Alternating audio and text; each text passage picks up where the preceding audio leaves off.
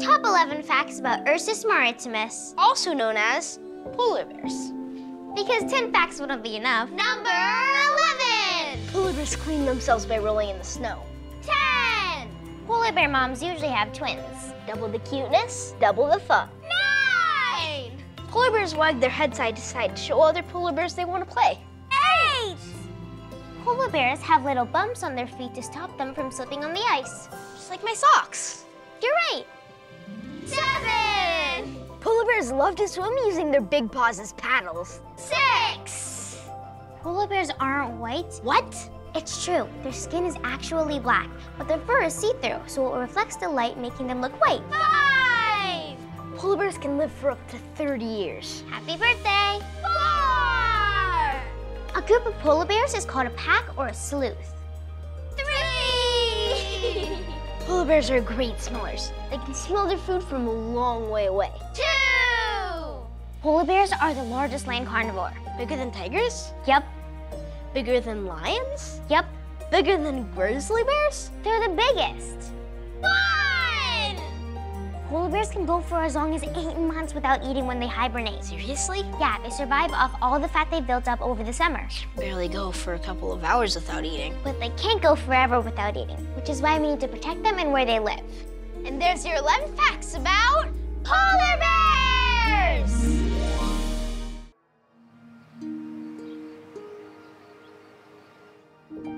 Can the snowmobile after a call? Maybe. We'll figure it out after we talk to Joe Heinerth. Check this out. Did she take that picture swimming with a polar bear? Yep, just like I did. You were more swimming away than swimming with. She's here now. Hi, Jill. Hi, Jane. Hi, David. Thank you so much for talking to us about polar bears today. Well, I was pretty impressed with the photo of the homemade snowmobile you sent me. I helped with the painting. Have you really swum with polar bears? I sure did. And the first time I swam with one, I think it thought I was a seal. Here, let me show you the video. I roll out of the boat into the water, and the polar bear swims at me at six miles per hour because he thinks I'm food. When he gets close, I dive beneath the surface and I catch him swimming overhead. That's amazing. Were you scared? Oh, yes. It's important to be scared as an explorer. It means that you want to come home safely. When did you know you wanted to be an explorer? I've wanted to be an explorer since I was a little girl. I literally grew up watching men landing on the surface of the moon and watching Jacques Cousteau, the great undersea explorer. But a lot of adults told me that little girls couldn't grow up to be astronauts or divers. Today, I just want to be the woman that I wish I'd met when I was 10 years old because I'm proof that you can do these things.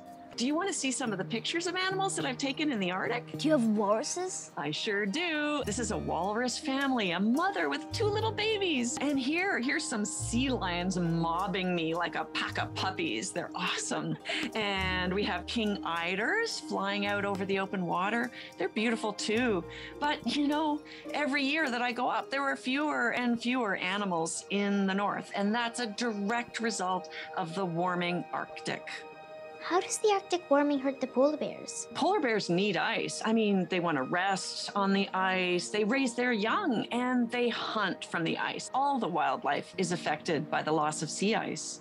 What can we do to stop the Arctic from warming up and help the animals? There are lots of things that you can do to help the planet overall from warming. So, here, let me open up this little graphic on my computer. If we use less things like gasoline, drive less, maybe walk more or ride our bicycles, but we also have to think about everything that we buy as well.